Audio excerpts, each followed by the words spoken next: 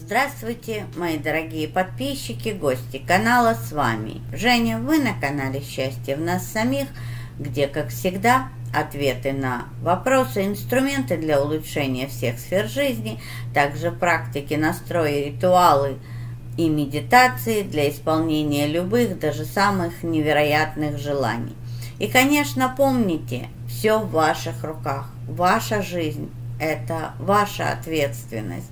Ведь только вы можете решить, делать, не делать, думать, не думать. За вас никто это решить не может. На канале это только инструменты и советы в помощь вам. Следовать советам, не следовать – это тоже ваш выбор. Ведь в конечном итоге – Ваши мысли, чувства и действия сегодня создают вашу жизнь завтра. Ну а сегодня просто пророчество колоды Мастер Таро. Так называется эта колода. Мы посмотрим сегодня, что же, по мнению Мастер Таро колоды, важно для вас сейчас и что же может произойти в самое ближайшее время. Так, наверное, по вопросам и посмотрим. Ну что, сосредоточьтесь на себе любимых, как всегда. Сделайте себе комплимент, похвалите себя, ну и, конечно, улыбнитесь. Помните, улыбка улучшает вашу жизнь. И чем больше вы улыбаетесь, тем больше причин для улыбок дает вам Вселенная. Ну что, пророчество мастер Таро. Смотрим, что же важно для вас знать сегодня, по мнению этой колоды – может быть, вы уже это знаете, а может быть, это будет для вас новостью. Ну и смотрим. Первое, что я вижу, ну, наверное, это очень интересно, когда вам важно знать, что в жизни есть радость, что э, вы можете радоваться, и должны радоваться каждому дню своей жизни. Также эта колода говорит о том, что, может быть, самое ближайшее время вас ждут именно дружеские встречи, дни рождения и празднование чего-то. Вот этого я действительно не ожидала. Обычно, когда важно знать, выходит что-то серьезное с анализом, а тут просто радуйтесь. На сегодняшний день, говорит мастер Таро колода. Ну и давайте посмотрим, что же мастер Таро колода хочет посоветовать вам на ближайшее время перестать переживать, вот действительно не зря была первая карта, перестать переживать, перестать раздражаться, перестать нервничать по любому поводу. Кстати, э, смотрите, нелегко это сделать, но э, неважно, что происходит в вашей жизни, ваша реакция очень сильно влияет на развитие событий. И потому что я вижу здесь не зря первая карта, что вам надо знать, была радость. Радость празднования, встречи.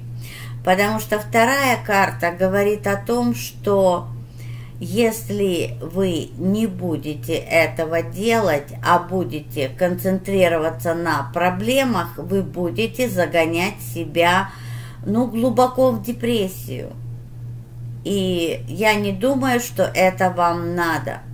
При любой ситуации я знаю, что очень тяжело сразу взять себя в руки.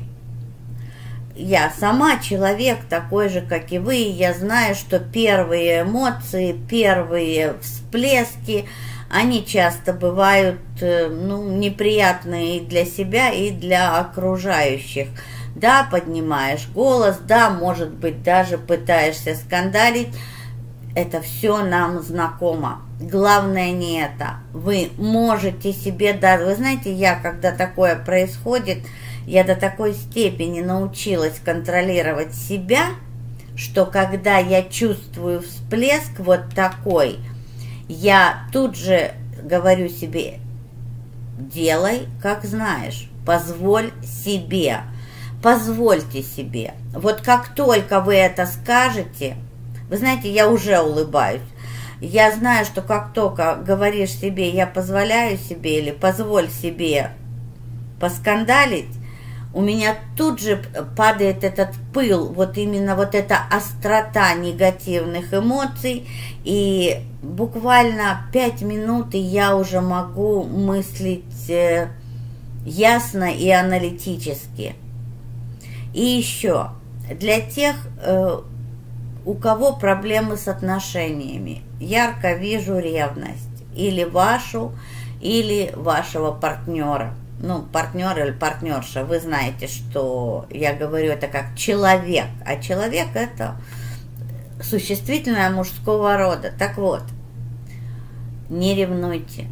Ни в коем случае, если партнер или партнерша дают повод для ревности, значит, надо расставить все точки над «и». Сядьте и поговорите. А просто ревновать, просто подозревать и Нервничать по этому поводу не приведет ни к чему хорошему. Самое интересное, первое, к чему оно приведет, действительно к измене, предательству, потому что вы сами к себе это притянете. Ведь почему я всегда говорю, измените это, измените то, постарайтесь сделать так, для того, чтобы изменить ваш уровень мышления, изменить ваши, вашу реакцию на те или иные события. И вот по этой карте могу точно сказать, что мастер Таро колода говорит вам не переживать. Ну и как, а я всегда говорю, что в любой ситуации всегда можно найти позитивный аспект и переключить силой воли свое внимание на этот аспект.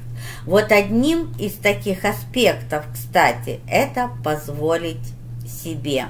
Ну, давайте же еще одну карту.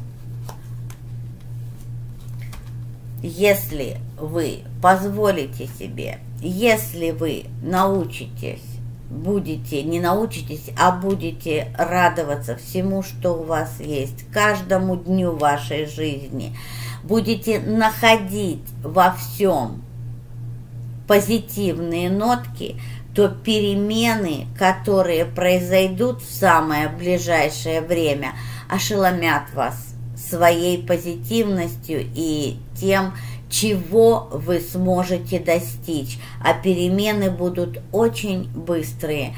И для того, чтобы они действительно были в лучшую сторону, я вам уже сказала, что делать.